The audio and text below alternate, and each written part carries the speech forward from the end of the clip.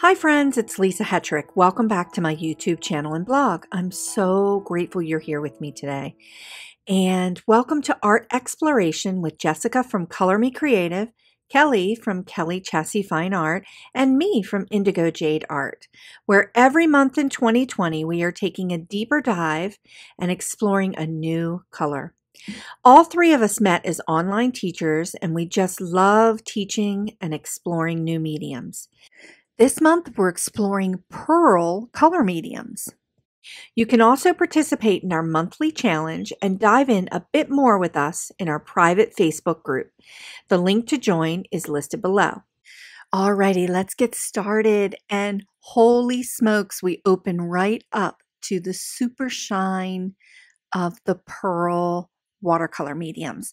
I'm going to be focusing on how to use the pearl watercolors or iridescent mediums with your watercolor projects. And we're going to create this floral spray for our tutorial today. It's going to be so much fun. And we're only going to be using three watercolors to create these beautiful, beautiful flowers. Okay, so here are the pearl mediums that I have in my stash. I have some Dr. P.H. Martin's iridescent. These are calligraphy colors that calligraphers use, but I use them as a watercolor medium. So this one is silver, but it's a pearl. I also have this Winsor Newton iridescent medium. These two mediums you can add to your watercolors to create more of a super shine.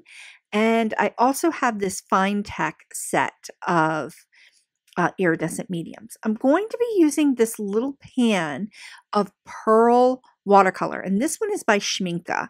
So let's go ahead and dive in and talk about the three watercolors that I'm going to be using, and I'm going to swatch them out for you. I have olive, Payne's gray, and the pearl watercolor. So I'm going to swatch all three of these out, and we're going to create the whole floral spray just using these three colors. So here is the olive color. Now you can grab any green that's in your watercolor stash, whatever you enjoy. And here is the Payne's Gray. Now we're going to be diluting this quite a bit with water to get that really, really pale blue gray look.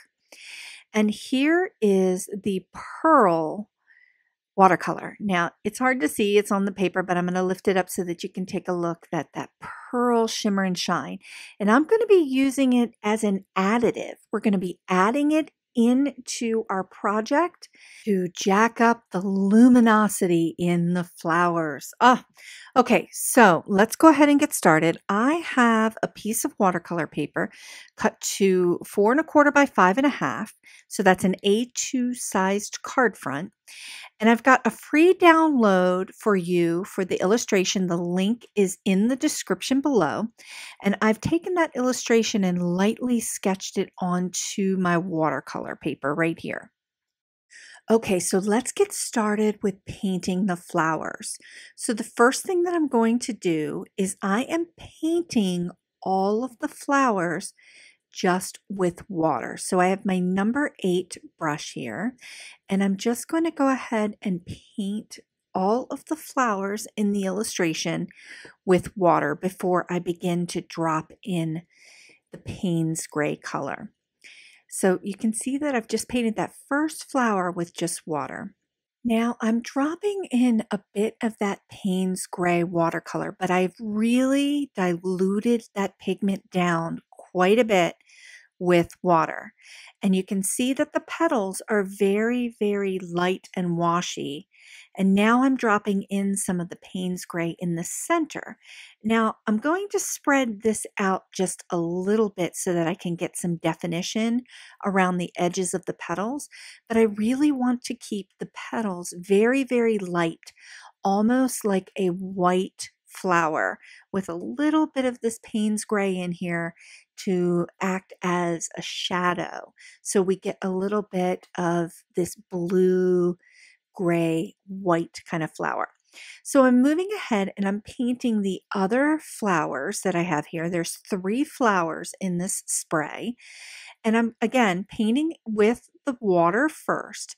and then going in and dropping the Payne's Gray, the really, really diluted Payne's Gray into the water and just kind of coaxing it around a bit, letting it move a little bit before I start to drop in the center. Now, I dropped in that center Payne's Gray and it just immediately starts to spider out and go where the water is. So that's kind of cool. And I'll come back and add some definition to that, but I just wanted to drop that in the middle. And I'm moving on to the third petal and I'm doing the same technique. I added very, very light washes in that first pass and now I'm just kind of adding a little bit darker wash. This one is going to be a little bit of a darker flower and just kind of spreading that out in the water. So I'm going back and forth from the dark Payne's Gray and the diluted Payne's Gray. Now you can use any color that you have in your stash. It doesn't have to be Payne's Gray. You can just use a really pale gray or a really pale blue to achieve this effect. So look at that. I'm digging the way that looks. Ah, love it. Okay, so now we're going to go ahead and move This on time to I'm doing a little bit something different. I've put the olive watercolor down onto my mat here, and I'm adding the pearl watercolors to the olive color.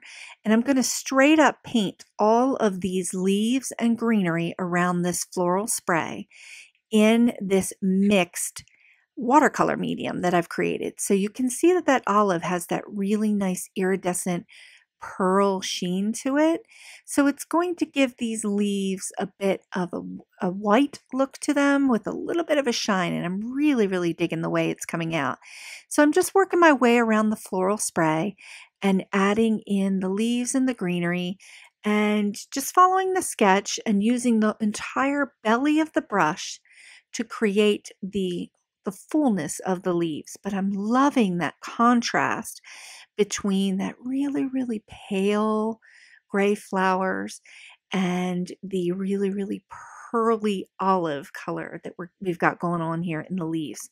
So i'm adding a bit of the darker olive in just a couple places and I'm just kind of adding a little bit of contrast to see if I'm if I'm going to like it. So you can see me just mixing up a little bit of the olive and going back and forth between that and the pearl medium, just laying that right on top. So I really like to lay the pearl medium on top of what I'm working on and also mix it into the watercolors to create a whole different kind of look. So just loving the way this color is coming out. I think it's a really, really nice, vibrant contrast to the way the flowers look. Okay. So we're going to go ahead and move on to adding the pearl watercolor right to the Payne's Gray. So I'm mixing it up right here in the dish into the Payne's Gray to get my pearlescent watercolor that I'm going to add on the top of the petals. So I'm going around the outer edge of the petals and I'm just adding in touches of that watercolor to create just a little bit of the shimmer and shine. Now, I don't want to add a ton of it on top. I want to be able to preserve some of the the blue tones that I have underneath, but just adding this little bit of that pearl mix on top of these flower petals just gives it that luminosity that I'm looking for for the project and also just kind of gives it a jacks up the white a little bit. So you can see that I'm adding a little tiny bit of the pearl medium around the edges.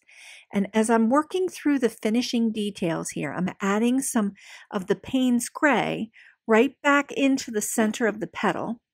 And I'm just moving a little bit of that Payne's Gray around the petals just so that I can get some of the definition in the petals. So it just doesn't look like a flower without the petals having some definition. So I'm just using little touches of that watercolor to kind of pull that out a little bit and get some definition there. And I'm really, really loving it.